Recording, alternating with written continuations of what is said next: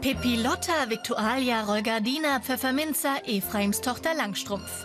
Pippi lebt ohne Eltern, aber mit Affe und Pferd in ihrer Villa Kunterbund und macht, was sie will, hat nie schlechte Laune und unglaubliche Kräfte.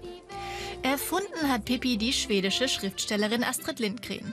Als Geburtsstunde gilt der zehnte Geburtstag ihrer Tochter, denn für sie erschuf Lindgren das kleine freche Mädchen mit den roten Zöpfen.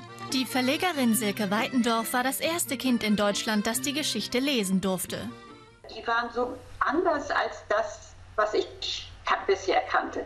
Sie war ja wirklich diese äh, besondere Person, stark, mutig, ähm, und dann noch ein Mädchen. Also völlig ungewöhnlich, so etwas, so ein Mädchen kennenzulernen oder von ihr zu lesen.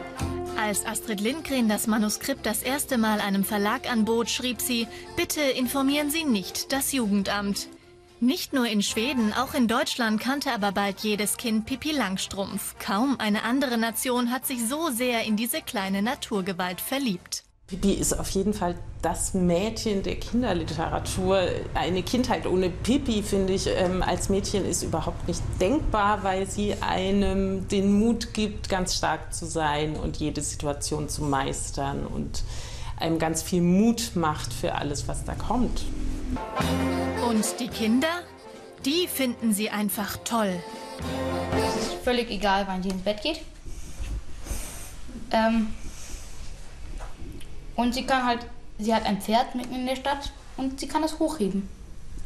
Sie hat so zwei Zöpfe und dann hat sie hier so, das will ich mir auch machen. Aber auch am besten wäre es, wenn es zwei Pipis gäbe. In Deutschland feiern viele Buchläden ihren Geburtstag. So wie hier in Berlin-Kreuzberg. Wir verkaufen Pippi Langstrumpf sehr gut und gerne, aber ich denke, es wird noch mehr gelesen als verkauft, da viele ihre alten Pipi-Ausgaben aufheben und ihren Kindern wieder vorlesen. So haben es wir gemacht und bestimmt ganz viele andere Familien auch. Starke Mädchen, die sind heute genauso wichtig wie vor 75 Jahren. Und so wird uns Pippi Langstrumpf wohl noch lange stark beeindrucken.